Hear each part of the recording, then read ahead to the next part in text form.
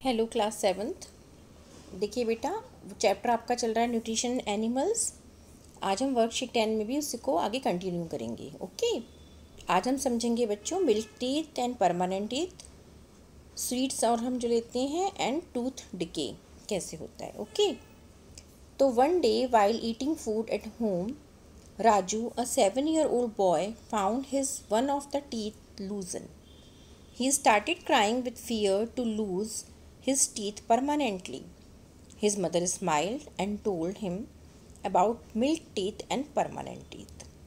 छोटा बच्चा था सेवन ईयर्स का, उसको दांत में दर्द हुआ तो वो रोने लगा उसको लगा, अरे, मेरे दांत तो ख़राब हो गए हैं, मेरे दांत टूट जाएँगे तो उसकी मम्मी ने बताया कि, बेटा, ये तो आपके मिल्क टीथ हैं और मिल्क टीथ जो होते हैं, वो एक बार क्या होते हैं फॉलो हो जाते हैं फिर दोबारा से आपके परमानेंट टीथ आते हैं तो बच्चों, ये देखिए कि food is taken through the mouth where it gets broken down into small pieces with the help of teeth ये हमने लास्ट क्लास में भी समझा था कि टीथ से ही जो फ़ूड होता है वो स्मॉल पीसेस में टूटता है और फिर स्लाइवरी ग्लैंड जो माउथ में प्रेजेंट होती है, वो स्लाइवा सिक्रीट करती है, जिससे जो कार्बोहाइड्रेट है वो डाइजेस्ट हो जाता है माउथ के अंदर okay but we get our set of teeth two times in our life अब आज हम इस वर्कशीट में केवल टीथ के बारे में समझ रहे हैं ना बच्चों?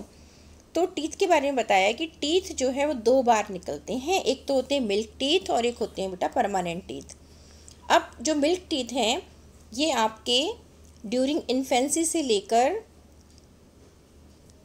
और कब तक रहेंगे? सिक्स टू एट ईयर्स तक। फिर ये fall off six to eight years में आके ये फॉल ऑफ़ करने लग जाते हैं। तो इनको हमने मिल्क टीथ कहा। फिर उसके बाद में जो टीथ आते हैं, वो होते हैं परमानेंट टीथ। तो second set of teeth that replaces milk teeth are the permanent teeth and the permanent teeth में last throughout the life और fall off during old age और ये आपने लास्ट क्लास में भी पढ़ा था कि परमानेंट टीथ चार टाइप्स के थे incisors canines premolar and molar so but you can you lose your teeth if you do not care them properly इसमें भी क्या है, देखो ये कितनी इंपॉर्टेंट बात है, हमें टीथ केयर के लिए बहुत ज़रूरी है, क्योंकि परमानेंट टीथ भी बेटा ख़राब हो सकते हैं। ऐसा नहीं कि वो हमेशा ठीक ही रहेंगे, उसके लिए आपको प्रॉपर ईटिंग हैबिट्स रखनी पड़ेंगी, क्योंकि टूथ डिके कब होता है? Bacteria can grow in our mouth if we do not clean our teeth and mouth after eating और eats excess sweets and chocolates तब क्या होता है? अगर मीठा हमारे माउथ के अंदर रह जाएगी तो उससे क्या होगा? The bacteria will act on them bacteria उस पर काम करेंगे, उसको ब्रेक डाउन करेंगे और उसको एसिड में कन्वर्ट कर देंगे। उस एसिड से हमारे टीथ जो होते हैं, वो डैमेज हो जाते हैं। और इसको हम कहते हैं बेटा टूथ डिके ओके तो हमें टीथ की केयर रखनी है डेंटल केयर इज़ मस्ट यहाँ से आप देखिए we should clean our teeth with the brush और दातून एटलीस्ट हाँ जी at least twice a day we should rinse the mouth after every meal we should not put dirty fingers और unwash objects in our mouth तो ये बातें आपने ध्यान रखनी है और मैंने पीछे भी आपको समझाया था कि आप दो बार ब्रश ज़रूर करेंगे बच्चों। ये हैबिट बना लीजिए। तीन टाइम करते हैं, बहुत अच्छी बात है, लेकिन दो बार तो आपको करना ही है। एट द बेड टाइम और in the morning before the breakfast okay now the question answer what was your age when you lost your milk teeth last time अब इसमें आपको अपनी एज लिखनी है जब आपके मिल्क टीथ टूटने शुरू हो गए थे।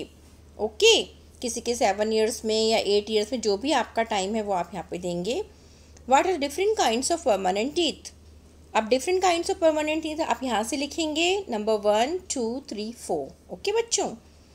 Write three good habits to prevent tooth decay three good habits you can clearly write from these points okay clear now the fourth question fill in the blank the set of milk teeth grows during तो ये भी बड़े अच्छे से यहाँ पर बताया है grows during this infancy means one to two years age and fall off at the age between dash to dash years between six to eight years okay तो ईज़िली आप इसको अटैम्प्ट करेंगे। बहुत अच्छे से इंटरेस्टिंग वे में समझाई हुई है पूरी वर्कशीट और मैंने लास्ट क्लास में आपको समझाया था कि आपने टीथ का डायग्राम भी बनाकर मुझे पोस्ट करना है। ओके बच्चों? तो ध्यान से आप करिएगा। थैंक यू बच्चों।